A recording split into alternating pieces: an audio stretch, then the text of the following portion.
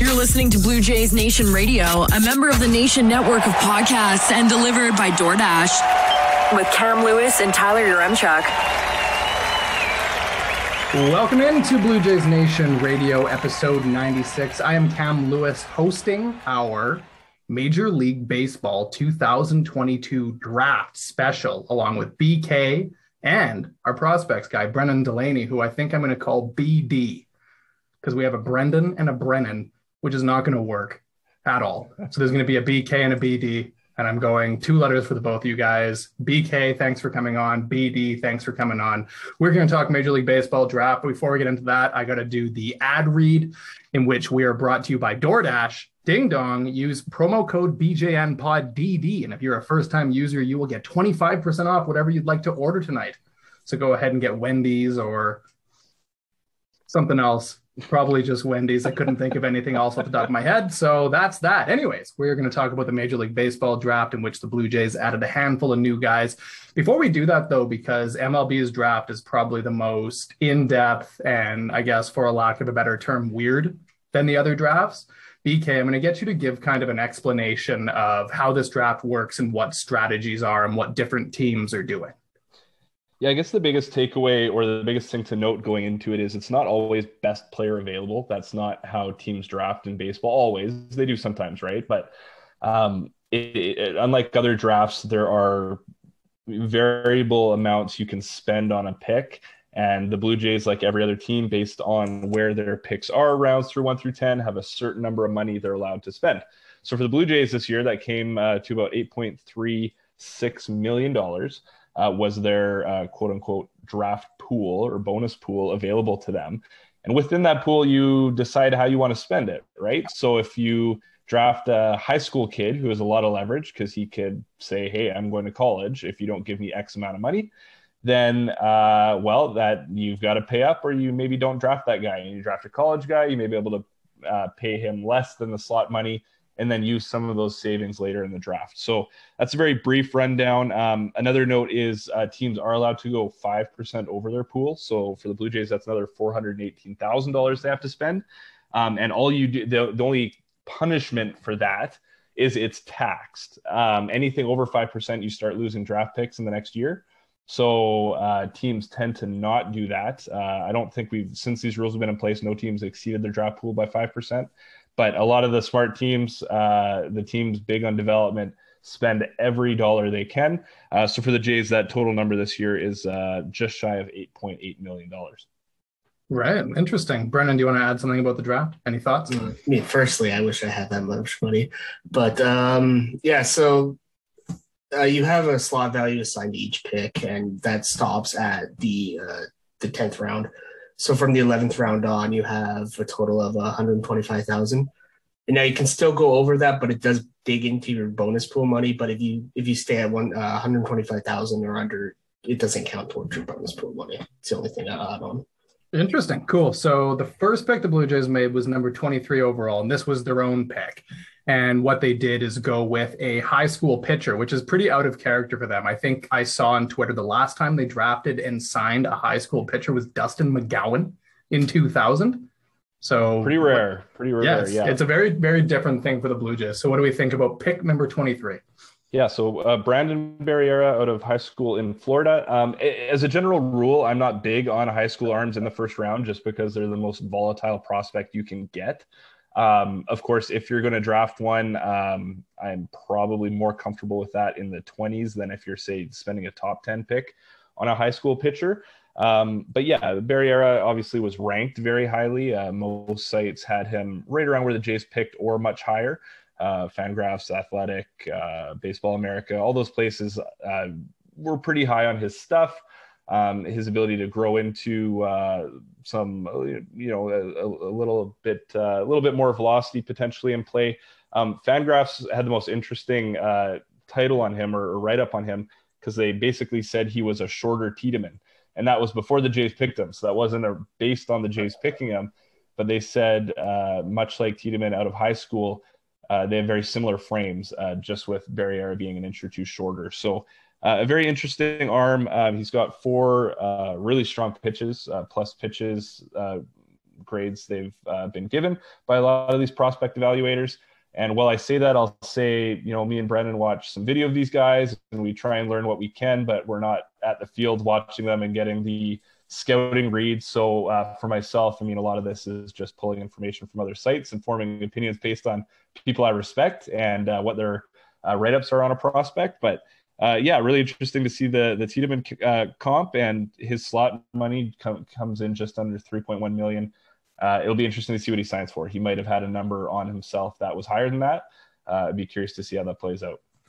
Brendan, before I let you talk, I just wanted to bring one more thing up is that we're hearing a lot about how prospects are now more interested to sign with the Blue Jays because of that complex they have in Dunedin. And I think we've seen that now with Ricky Tiedemann. He comes out like he's shot out of a cannon as a pitcher and he's ripping up the levels now. He starts in low A Dunedin, makes a handful of starts, and up to Vancouver. He makes eight starts, and now apparently, reportedly, Scott Mitchell said he's going up to double A right after the All Star break.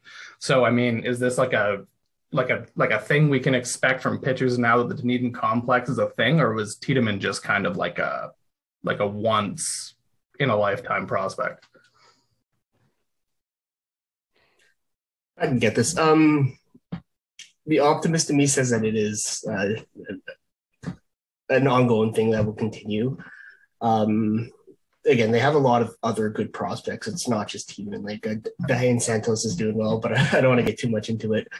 Um, I could definitely see it a lot more young arms. It could become a pitcher development uh, organization in the near future. I think.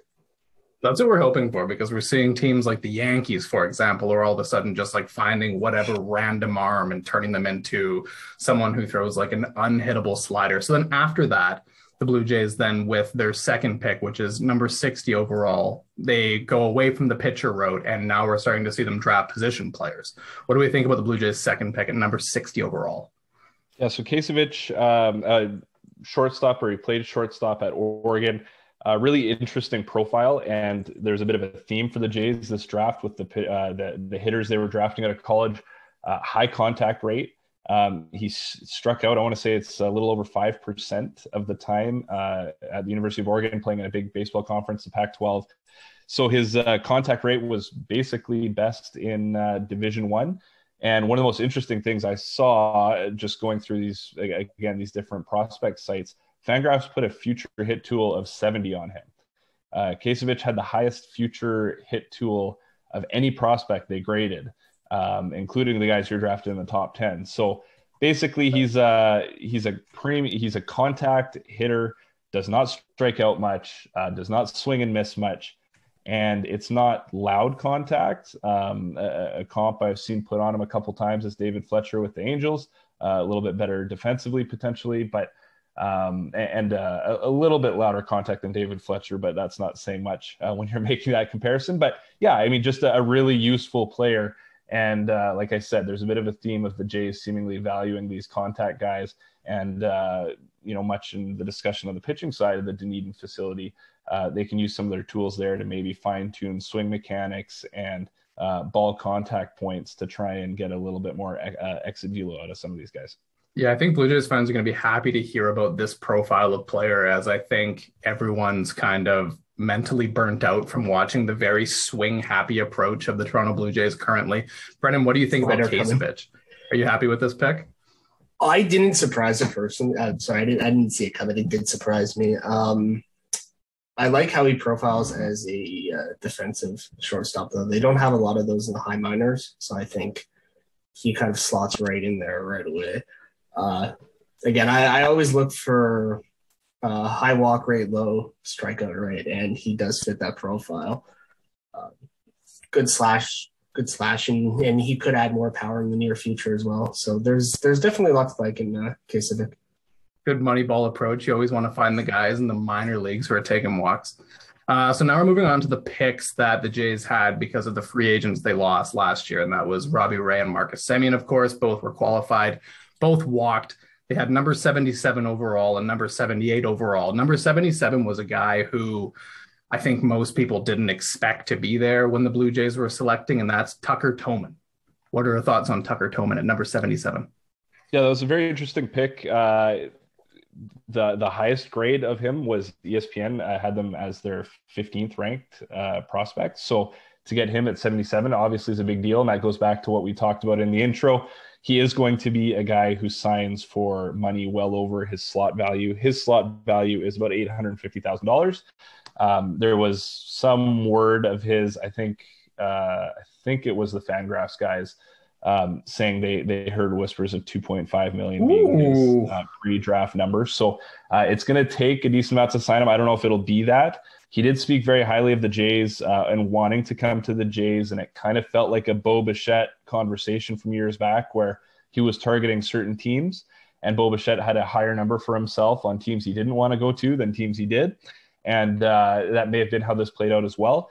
And a very interesting thing about how this played out is we got word of this pick happening before the Jays pick 60th. And again, a very weird component of the baseball draft. Jays haven't even picked 60, and Tucker Toman's dad is announcing at their draft party in Tennessee somewhere uh, that uh, he will be signing uh, for. He didn't, you know, broadcast the number, but he said he will be signing uh, with the Jays uh, after being selected pick 77. And this was reported by, I guess, the local high school sports reporter um, That's a great scoop. Again, wherever this Tennessee location is, this rural Tennessee area, uh, he was in the house at the draft party and reported this and put it out on Twitter. And it seemed believable, but also you wanted to actually wait to see how and if it would play out that way.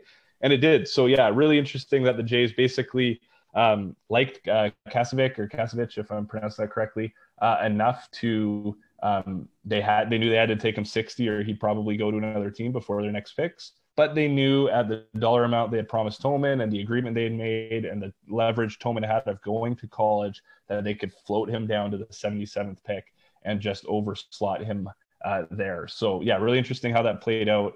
But uh, a bat I really liked coming into the draft, a switch hitter, uh, looks to be a third baseman. He's got power from both sides of the plate.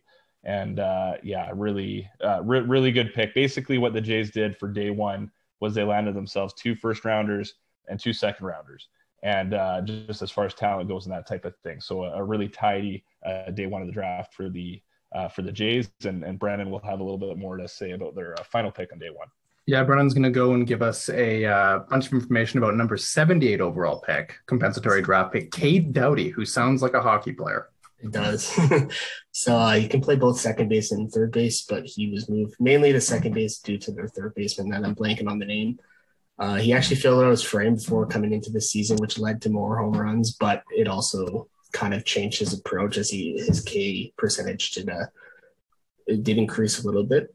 Not not too much that I worry about it. Just there is a little bit of swing and miss in his game. Uh, throughout his college career, slash 301, 378, four, uh, sorry, 541. And he also had eight homers and 281 plate appearances in the summer league, which uses wooden bats. So the transition between um, aluminum to wooden sometimes does factor into uh, exit velocity issues, such as like Austin Martin back in uh, 2021. So it's good to see that he has experience with wooden bats and also hitting home runs. Um, he doesn't have the fastest bat speed, that's something that is noted, but he's very good at timing the ball and having his bat in the right spot to hit it to barrel it. So there's a lot to like about Doughty. Like I, I drafted him in OT, OOTP before, but uh, yeah, I, I, do like that pick, especially because again he is a second round pick, and uh, I think he will probably start in high A if I had to guess, maybe maybe low A. But uh, I, I think there's a lot to like with Cade Doughty. Yeah, that moves us on to kind of the next thing to talk about with this draft is you guys both talked off the hop in the show that teams operate with kind of a strategy. Sometimes you'll see them pick some fourth year college guy in the first round, maybe like a Logan Warmoth type that isn't going to command too much cash so you can sign guys later on. Is that kind of what we're seeing right here? Are we going to are we seeing some picks they've made that are late that seem like home runs? Are we seeing, you know, are we seeing are we going to see money move around when it comes to signing bonuses? It seems like uh, a vast majority of the Jays' money is going to be attributed to day one picks. And day two, um, not that the team doesn't like who they're selecting, uh, they certainly do to be uh, drafting them. But once you get into day two and and you know that third, fourth round, you're talking signing bonus uh, signing bonus pool slots of like 350, 450, 600,000.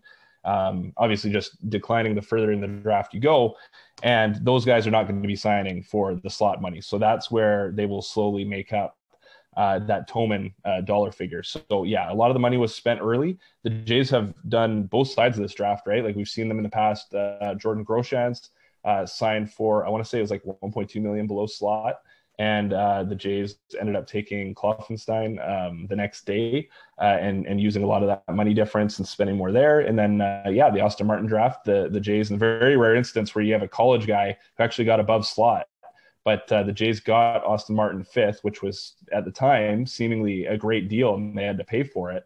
Um, and then that impacted how the rest of their draft went and uh, where they could spend that money. So, um, yeah, it was interesting. Uh, uh basically, uh, rounds three through 10 were just signability guys. Um, I, uh, Brennan, if I'm not mistaken, it was college guys across the board, right? All the way three through oh, yeah, yeah, 10. Yeah. yeah. So, and, and some of those are fifth year seniors. So, as you can imagine, a 23 year old in college who was draft eligible two years ago and still hasn't signed. Um, that's not a guy with a lot of leverage, uh, and you're going to be able to sign him for way less than his. That's a one thousand dollars signing bonus. Yeah, that's like we've a, seen those in the past, right? Kevin Pillar signing bonus. Exactly, we've seen that uh, going back to the AA era, um, and in the current era, it's just a, a, tool teams utilize to to make off the different, make up the difference. So um, yeah, and uh, obviously still some guys to like in day two, and uh, Brennan can talk about that. Yeah, I'll, I'll I'll lead you in there. Brennan wrote about every single player the Blue Jays drafted, which is an impressive thing, I will say. In my thank God there's not 40 rounds. Yeah, exactly. That's what I was about to say. Is I I personally feel like it's kind of a shame. I like the days when there was 40 guys each team being drafted, just so you can like run through a hilarious list of names. But it was even like in in I think I feel like the, the draft used to be like 65, 70 rounds. I know Mike Piazza, I think, was drafted, what, 56th round or something like that.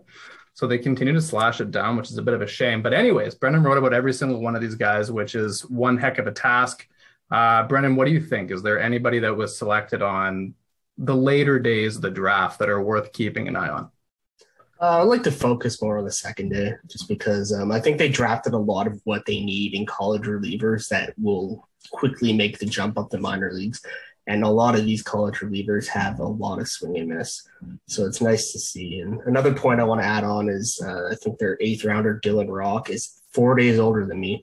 That was the only player drafted that is older than me, and I still feel still feel young. Oh, but you got the, a ways to go, buddy. You got a ways to go. Oh uh, man, I miss being 18. so um, the two players that I kind of wanted to focus on were uh, Roden, uh, Alan Roden, and Payne Williams, who I absolutely love. But we'll start with Roden. He uh, in 418 plate appearances, he slashed 383, 484, 640. He struck out only eight times this past season in uh, 100 and yeah, 200 or so plate appearances, 242. What league is this? Is this like a soft, like a slow pitch underhand league? Uh, I believe he played for uh, Creighton, so it's those are video game numbers, man. That's like yeah, striking out that few amount of times is pretty impressive. It's like me going on a rookie of the show and just smashing dingers, but uh, he didn't face a lot of premium pitching in that college division, and uh, he plays mainly first base. And you, you, know, there's a guy named Vlad Jr. at uh, at first. He does have impressive exit velocities and he only had four dingers this past season, but it was a pitcher's park. And he also had, I believe, five homers and just 165 plate appearances in a summer league. Again, with the wooden bat, I, I think it does matter. Uh, the other guy, Payne Williams, absolutely love this guy. When I say his height and weight, you're going to be like, oh, that guy just hits dingers. It's not true, though. So he's 6'5, 255. He weighs like Ooh. five more pounds than me. Six he's, times. he slashed 317, 445, 593. He uses all parts of the field. And he uh he had 13 home runs in summer league as well. Like in just like 134 plate appearances or something like that. It was crazy. Uh, he also just walked as many times as he struck outs. I believe it was 35 apiece. But it wasn't just like, oh, he's he's a uh, he's a junior. Like he obviously is more developed. He was doing this before as well. So this uh, between the two years in uh, freshman and sophomore, he only struck out six more times than he walked, and it, it was three piece, three more times than he struck out. So th- there's a lot to like in him, and I again, I just like those like out of the ordinary framed. Uh, You're a big Alejandro Kirk fan. I oh yeah, his his uh. So you're excited to see the Jays draft like a Daniel Vogelbach type player. absolutely. BK, what are you thinking? Do you have any any names that you found in the second and third days that you think are worth keeping an eye on? Yeah, I think, uh, and I don't know how to pronounce the last name, but 18th pick Jeremy uh, Pilon, Pilon, if we're Pilon? gonna if we're gonna French it up, uh, Pilon. Um, he is from Quebec, uh, which the unique nature of him uh, as a high schooler is he was drafted at 16 years old, which there are high schoolers in the draft, many who are drafted at 19 years old. So the Jays got a left-handed pitcher, a very interesting one. Um, he's he's touched 90 to 91 miles an hour, but uh, a Canadian kid uh, who doesn't turn 17 until uh, sometime in September, and uh, he, you know performed very well in the Canadian junior national team. So he was the youngest guy by far drafted um, because there are rules around uh, age and graduation that uh, are need, needed to be met to be draft eligible. And uh, he uniquely qualified for both, just barely by being a, a you know from Quebec. So yeah, it's cool to see uh, a Canadian kid drafted in the 18th round. I hope he signs. Um, I, I, believe there was five uh, high schoolers in rounds 11 through 20, and the Jays, it would seem, wouldn't have a lot of money they can pull from days one and two to sign them for any more than that $125,000 mark that uh, Brandon broke down in the intro. So, um, yeah, it'll be interesting to see how many of those uh, guys they sign. There have been some verbal uh, commitments or rumors on Twitter of uh, a couple of them but uh, but yeah, Jeremy uh, Pilon. We'll we'll uh, we'll see if we can get the Canadian signed and down to Dunedin, where the the lab can get to work on a 16, 17 year old and see what uh, some additional growth and and uh, lab work can do for the, the velocity. That's completely insane to me. Just like the idea of us talking about like, but then again, like we also have like the international free agency Oh, period where it doesn't seem beyond question to just add a 16 year old from Latin America. Well, you start talking about them when they're 14. Yeah, I know. We've, we, we've, we've, we've, we've, we've unironically spoken about like 12 year old siblings of Vladimir Guerrero, which is completely insane. But that's also not like soccer level either, which is a whole different thing. Like, yeah, we're talking all of about it's like, bad. Uh, all of it's very, very bad. Probably far too young uh, to have to be worrying about stuff like that. But it's it's interesting. The Guerrero blood, bloodlines are strong, and the Jays do a very good job in international free agency, and that involves um, pretending you're not talking to the kids when they're 13 and 14 when you de- definitely, most definitely are. So. Um, yeah, yeah, it's interesting to actually see that happen in the draft because I don't, I don't ever recall a 16 year old going in the draft. Uh, 17 is certainly the youngest I can remember. So So now here's a question for the both of you guys: Is how many of these prospects are inevitably going to be used in this summer's Juan Soto trade? zero because they're not Zero? eligible. Oh, you're right. I forgot about that. Yeah, Well, I was. I was talking on another pod, and they said apparently it's not that important anymore since uh, I think a trade back in 2014 or something. But they probably won't be traded no matter what. So So who are the Jays Yeah, going to include in that deal then? Who are they going to send to Washington for Juan Uh, Soto? I don't speculate on trades, sir. But uh, top prospects and yeah, uh, uh, Bo it starts with Moreno and possibly Bo, and it depends what Washington wants. And I can't imagine the Jays are uh, the ones to be fulfilling that. Where do you think Uh, he ends up? San Diego seems plausible, quite plausible. Um, they've they've got they continue to have just some high upside talent in the minors and and some you know major league ready premium talent like CJ Abrams. And look, if the Jays are, are willing to talk Moreno um, plus plus plus, then they're very much in the conversation. So uh, that can happen. Um, but man, I'd I'd be surprised. But uh, Yeah, you know, I don't think it's happening either. if I'm being the Yankees honest. have been, ha, you know, as much as their reputation is like the freewheeling, big spending Yankees, they have not been a prospect like, you know, diving into their very premium prospects and trading them. They have not done that. They've they've had more fringy guys, or you know, maybe the guys ranked like five to ten that they've identified as willing to trade. But even like the Jays, you know, trade for Berrios last year, that's not a move the Yankees have really looked to make um, the last few years. So you know, I don't know if that's a if that's just a, a plan or a, you know what how they view prospects in totality, or if maybe they've been waiting for the right move to go and do that. So goodness, here's hoping it's not the Yankees, but they certainly have um, you know the some of the firepower to get that done as well. Yeah, but that would uh, be yeah, super Diego, Put him in the stay in the National League, right? I want to cheer for Soto and not have anything he does uh, negatively impact the Blue Jays. The Mariners are unfortunately another team that actually kind of makes sense that could pull it off that I very much would not like to see. That'd be here's fun. a name. Here's a name for me out of left field, just because they were hot before the All Star break and because they're in the American League East, the Orioles. Let's see the Orioles make a huge splash and uh, become a contending team in the American League East this season. They Yeah, definitely do it. Yeah, they could. the prospect pool to do it, right? and they're in the mix. Why not? Go ahead and make your um, 2015 Blue Jays trade. So if I'm the cry. Orioles, I wouldn't do that because when you rebuild as hard as they did, and despite the standings right now, I'm still comfortable calling them a non-contender. Which please don't clip that for when they're past the Blue Jays to finish the season. But uh, I yeah, I, w- when you rebuild and have like zero money on the books like the Orioles, they should spend, right? Like in free agency, they should just spend everything, but keep the prospects because you don't need to acquire cost controlled talent. It doesn't benefit your books. You've got so much money to spend. So, um, yeah, the Orioles unfortunately might just go wild in free agency in the next year or two, and that'll be no fun. And okay, but who wants to live in Baltimore? Expect them to take. Well, that's true. when was the last time the Orioles made like a free agent splash? Who would that have been? Like Mark Trumbo? Ubaldo? Ubaldo might have been it. Remember when he was going to be a Blue Jay? Yeah. Or it was him and Ervin Santana around the same time, and the guys were going to defer money. They uh, remember that. they gave Alex Cobb pretty decent money, like three or four years ago. Like basically, uh, they were on the edge of a rebuild, but they're pretending to still like try. Yeah. And then they realized very quickly that wasn't going to work. But yeah, Alex Cobb, he got like 40 million from them, I think. But uh, yeah. but yeah, they haven't done the mega contracts in free agency, but they gave Chris Davis 160 million dollars, so they've done it. Um, but yeah, to, to bring this back to uh, to a fun Blue Jays point here, uh, while we're recording this pod, the All Star game is on. Alec Manoah just struck out two uh, in a scoreless second inning. Pretty, uh, pretty exciting. And apparently, he was mic'd up on the Fox feed, the U.S. Really mic'd oh, up while great. pitching.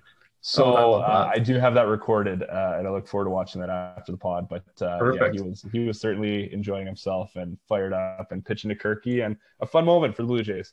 I, I have to say that Alec Manoah. I'm going to declare this right now. Alec Manoah is the best pick from the 2019 draft. I agree.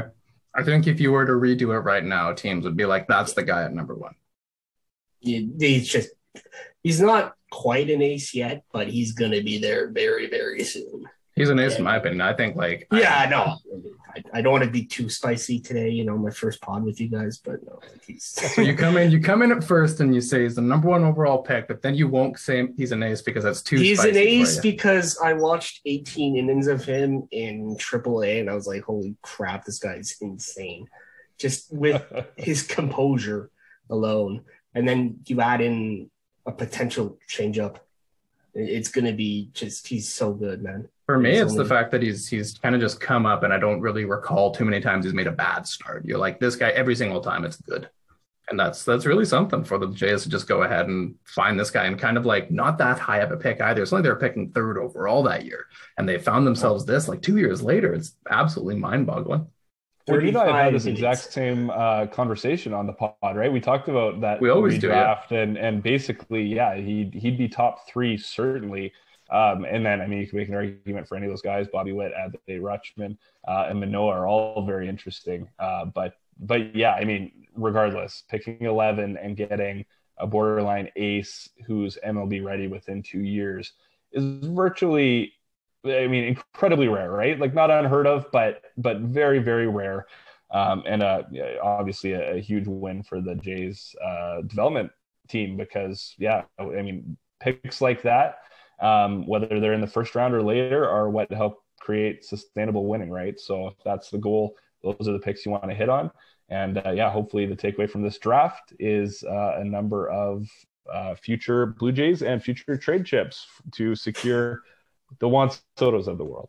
That's right. Yeah. So we're feeling pretty good about the draft. What would you guys both give the Jays a letter grade for this draft? And this is impossible to do. Impossible because you don't know how good anyone's going to be. No one's signed yet. But let's finish off with some some letter grades.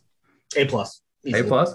Yeah. Sure. BK, what are you thinking? I'd go B plus. I still like. I I've I've very much talked myself into uh, uh, Barriera, but I you know if my if my priors are I don't love high school pitchers in the first round, more or less, no matter what.